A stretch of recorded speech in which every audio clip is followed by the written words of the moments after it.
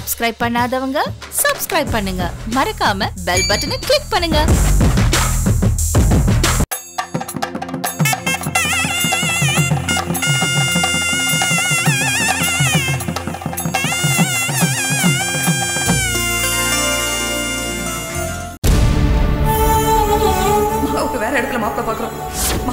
சரின்னு சொல்லிட்டா.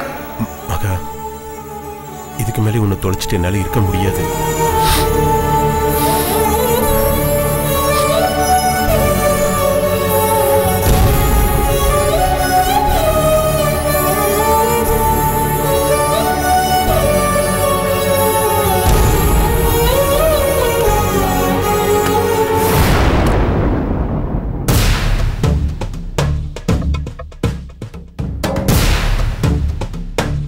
என்ன மாப்பிள?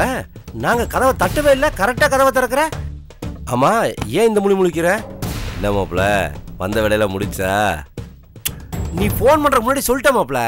மாப்பிள காரைக்குடி போனானா அவனுக்கு ஏகப்பட்ட வேலை தனிப்பட்ட முறையில் இருக்குன்னு நான் சொல்லிட்டேன். மாமா? மாப்பிள நான் இதே சொன்னேன் நீ எதை நினைச்சிட்டு இருக்க? இந்த கான்ட்ராக்ட் வேலை அது இருக்குல்ல அதை சொன்னேன் நீ எதை நினைச்ச? நான் எதையுமே நினைக்கல.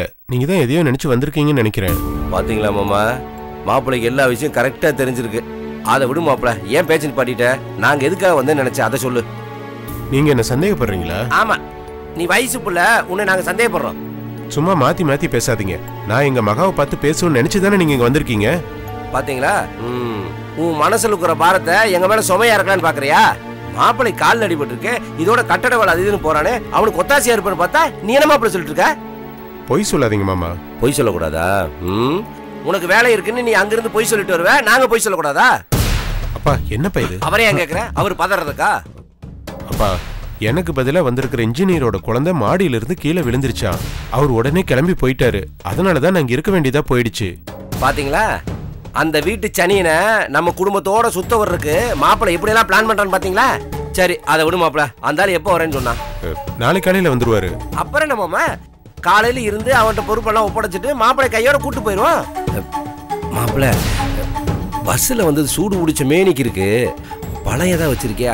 வயிறு அடைச்ச மேனிக்கு இருக்கு. ரிலீஸ் பண்ணணும். இருக்கா? அப்பாடி. ஷூ.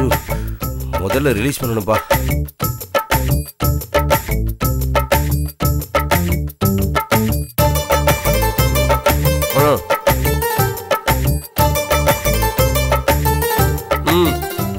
நீங்களும் சாப்பிட வேண்டியதானே மாப்பிள. ம். மாமனார் வீட்டு பக்கத்தில் இருக்கனே தண்டை கிண்டி போட்டியா? நீங்க ரெண்டு பழம் சாப்பிடுங்க. நீங்களே சாப்பிடுங்க. ம்,